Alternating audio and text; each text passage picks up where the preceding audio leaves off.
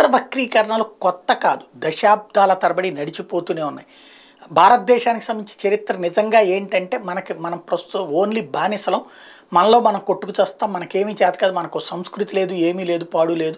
విదేశాల నుండి వచ్చిన వాళ్ళే మనకి బ్రతకడం నేర్పారు. విదేశాల నుండి వచ్చిన వాళ్ళకి మనం కట్టుకోవడానికి నేర్పారు.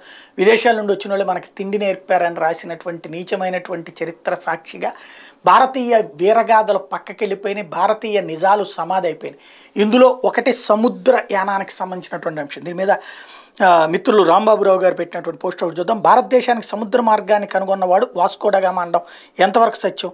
అదే విషయం మనం ఇప్పుడు తెలుసుకుందాం. మన దేశంలో ఆంగ్లేయుల ద్వారా ప్రచారం చేయబడిన భ్రమల్లో ఇదొకటి. ఇందులో వాస్కోడగామా భారత్ రావడం మాత్రమే సత్యం. కానీ ఆయన ఎలా వచ్చాడనేది తెలుసుకుంటేనే మనకు సత్యం ఏంటో తెలుస్తుంది.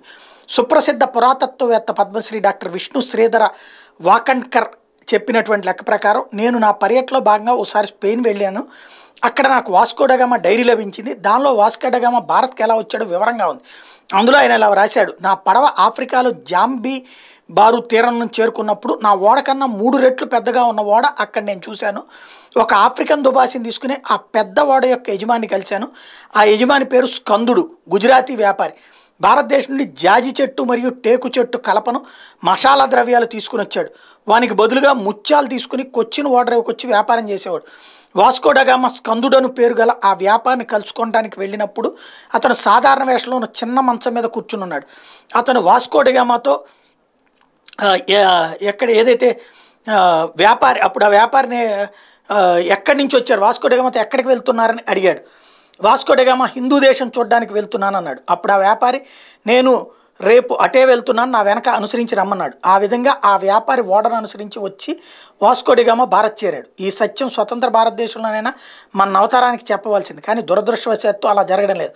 పై సంఘటన చదివిన పిమ్మట మన మనసులోని ఒక ఆలోచన తప్పకుండా వస్తుంది. నౌకా నిర్మాణంలో ఇంత ఉన్నత స్థితిలో ఉన్న దేశంలో ఇప్పుడు ఆ విద్య ఎందుకు నశించిపోయింది?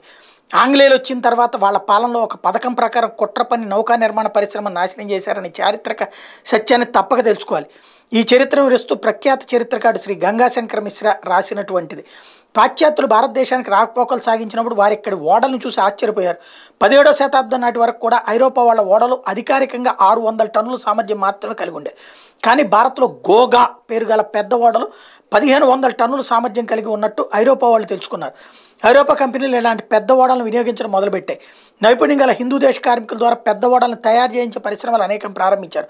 పద్దెనిమిది వందల పదకొండవ సంవత్సరంలో లెఫ్టినెంట్ వాకర్ రాసిన ప్రకారం బ్రిటిష్ ఓడలన్నీ కూడా ప్రతి పన్నెండు సంవత్సరాలకి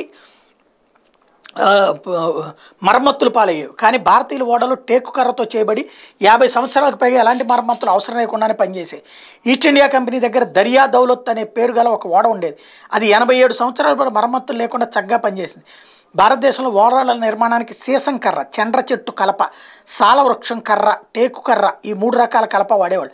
పద్దెనిమిది వందల పదకొండులో ఫ్రెంచ్ యాత్రికుడు వాల్టర్ సాల్విన్స్ లే హిందూ అనే పుస్తకం రాశాడు. ప్రాచీన కాలం నుండి నౌకా నిర్మాణ కళలో హిందువులు చాలా ఆరితేరున్నారు. నేను కూడా నేడు కూడా వారి కళలో యూరప్ వాళ్ళకి పాఠాలు చెప్పగల సమర్థులే. ఆంగ్లేయులు హిందువుల నుండి నౌకా నిర్మాణ కళను నేర్చుకోవడం చాలా ఉత్సాహం చూపెట్టేవాళ్ళు అన్నటువంటి విషయాన్ని చెప్పుకొచ్చారు. యూరప్ వారికి పాఠం చెప్ప ఆంగ్లేయులు హిందువుల నుండి నౌకా నిర్మాణ నేర్చుకోవడానికి చాలా ఉత్సాహం చూపారు. హిందువుల దగ్గర అనేక విషయాలు తెలుసుకున్నారు భారతీయ ఓడల్లో సౌందర్యం నాణ్యత కలగలిసి ఉండేది ఈ ఓడలు హిందువుల యొక్క నిర్మాణ కౌశల్యానికి మరియు ధైర్య సాహసాలకు ప్రతీకలుగా ఉంది. ముంబైలోని పరిశ్రమలో పదిహేడు వందల ముప్పై ఆరు నుండి పద్దెనిమిది వందల అరవై మూడు వరకు మూడు వందల పెద్ద ఓడలు తయారైన వీనిలో ఎక్కువ ఓడలను ఆంగ్లేయ నౌకాదళం షాహీబేడేలో లో చేర్చుకున్నారు. వీనిలో ఏషియాలను పేరుగల ఓడ రెండు వేల రెండు వందల ఎనభై తొమ్మిది టన్నుల సామర్థ్యం గలది. దానిలో ఎనభై నాలుగు ఫిరంగులు అమర్చబడి ఉన్నాయి. బెంగాల్లోని హుంగ్లీ సిల్హట్ చెట్టగావ్ ఢాకా మొదలైన చోట్ల నౌకా నిర్మాణ పరిశ్రమలు ఉండే పదిహేడు వందల ఎనభై ఒకటి నుండి పద్దెనిమిది వందల ఇరవై ఒకటి వరకు ఒక లక్ష ఇరవై రెండు వేల ఆరు వందల తొంభై మూడు టన్నుల సామర్థ్యం గల రెండు వందల డెబ్బై రెండు ఓడలు కేవలం ఒక హుగ్లీలోనే తయారైనవి అన్నది అసలు చరిత్ర.